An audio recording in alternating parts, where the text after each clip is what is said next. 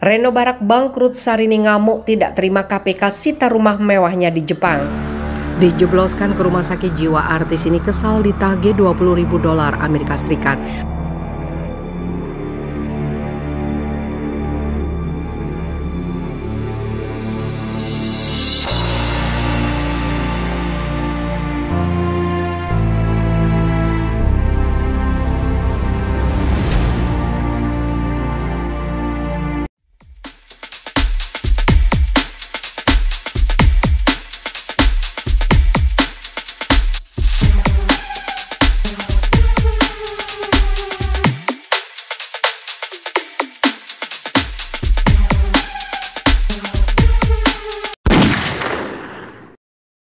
Reno Barak dikabarkan bangkrut setelah disebut sebagai dalang dari kasus pencucian uang Rafael Alun. Informasi tersebut disebarkan oleh kanal YouTube Familiar yang mengunggah video berjudul Bangkrut. Sarini ngamuk pihak KPK sita rumah Reno Barak di Jepang hingga ungkap kebohongan.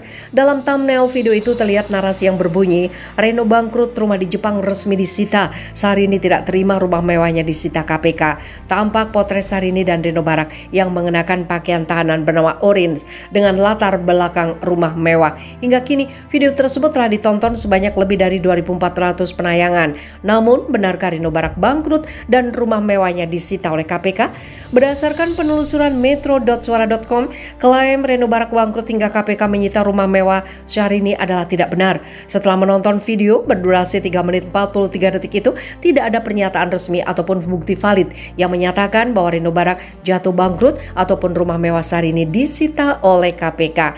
Hingga akhir video, narator dalam video tersebut sama sekali tidak menjelaskan klaim seperti yang tertera pada judul.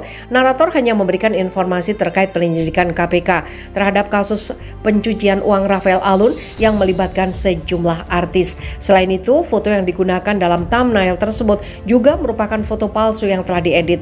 Antara judul yang tertera dan isi video pun tidak memiliki keselarasan. Berdasarkan pemaparan ini, maka dapat disimpulkan mengatakan bahwa kabar Reno Barak bangkrut hingga KPK menyita rumah Sarini di Jepang merupakan berita palsu atau hoax. Dijebloskan ke rumah sakit jiwa artis ini kesal ditagih 20 ribu dolar Amerika Serikat. Kabar Marsanda hilang di Los Angeles, Amerika Serikat belum lama ini sempat bikin heboh. Bukan menghilang, dia pun menceritakan apa yang sebenarnya terjadi waktu itu. Lewat kanal YouTube miliknya, Caca, sapaan akrab Marsanda mengungkap bagaimana awalnya dia dikira menghilang oleh sahabatnya Sheila Salsabila. Rupanya dia main ke pantai tanpa membawa ponsel.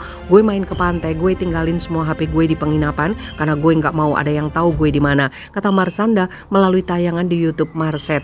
Lantaran tidak bisa dihubungi, Stella panik dan menghubungi 911. Lagi asik bermain di pantai, Marsanda pun dibuat kaget dengan kehadiran petugas 911 dari pantai. Marsanda dibawa ke rumah rumah sakit jiwa di Los Angeles. Ini lantaran dia kedapatan obat penenang dan obat-obat bipolar lainnya. Marsanda selama ini memang masih dalam upaya sembuh dari penyakit mental yang diidapnya.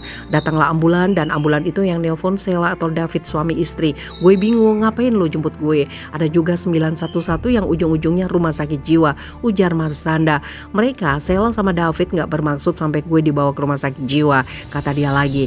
Marsanda tidak bisa berbuat banyak. Dia pasrah harus ditempatkan di rumah sakit jiwa selama dua pekan.